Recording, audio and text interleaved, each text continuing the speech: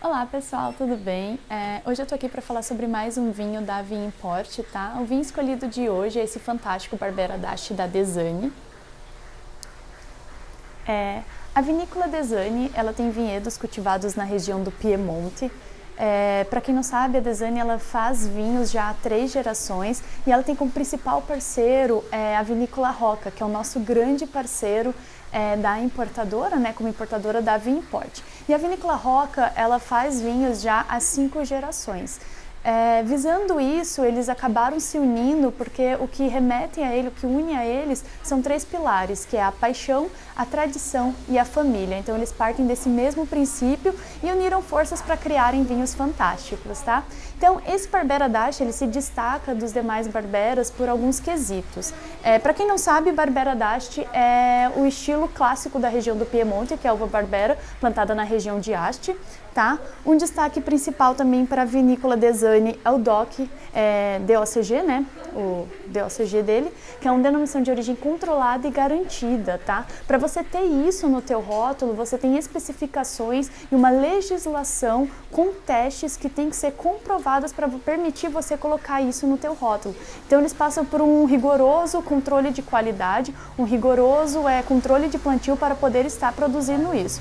Outra informação bem interessante é que ele foi medalha de ouro pelo Gilbert e Gaillards 2018. Para quem não sabe, é, essa revista ela é uma das principais revistas da França como sugestões de vinhos, tá? Então tá listado como indicação neles é muito importante aí para vitivinicultura e para enaltecimento mesmo da vinícola. E outro interessante é esse Barbera, né? Que os vinhedos da região do Piemonte são vinhedos é, próprios, então eles têm todo um controle na produção do vinho. Tanto que a produção desse vinho ela é feita de forma manual, é, as podas são feitas de formas controladas, então o vinho, a videira, ela dá uma, é uma quantidade menor né? Eles fazem a poda para fazer uma quantidade menor para o quê? O que, que isso significa para o vinho? Então, o vinho vai ter muito mais, as uvas vão ter muito mais características e qualidade, porque ela não vai ter uma grande quantidade, ela tem uma quantidade concentrada. Então, passando os nutrientes necessários para uma quantidade de uva bem mais concentrada, tá? É, além disso, ele tem 12 meses em barrica de carvalho francês de primeiro uso, então ele vai ser um vinho com essa passagem, então ele vai ter mais complexidade, ele vai ser mais macio e vai trazer notas bem diferenciadas para esse vinho. Particularmente esse é um dos vinhos que eu adoro indicar como presente, tá? Por conta dessa, é, além da complexidade dele, do quão volumoso e equilibrado no paladar ele é. Então ele acaba não assustando. Então é uma boa opção para quando você não tem muita certeza do paladar da pessoa que vai receber esse presente, ele é uma boa indicação, porque ele não vai ser agressivo, né?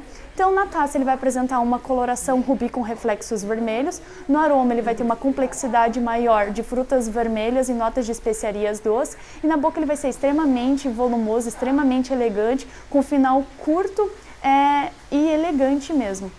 Falei errado isso, a gente corta e depois coloca. Então tá. No paladar ele vai ser volumoso, equilibrado, com final curto e elegante. Simplesmente um vinho fantástico, na minha opinião, uma das melhores expressões de Barbera Dash da safra 2016. Então fica a dica do vinho hoje para vocês não vai falar de harmonização, essas coisas? Ah, é, tem que falar. Tá gravando ainda? Então vamos lá. E ele vai harmonizar também super bem, gente, com é, massas, carnes grelhadas, carnes assadas. Então ele é um vinho muito versátil também e fácil de estar harmonizando. Então, mais um é, motivo para você estar adquirindo, estar experimentando esse Barbera Dash fantástico.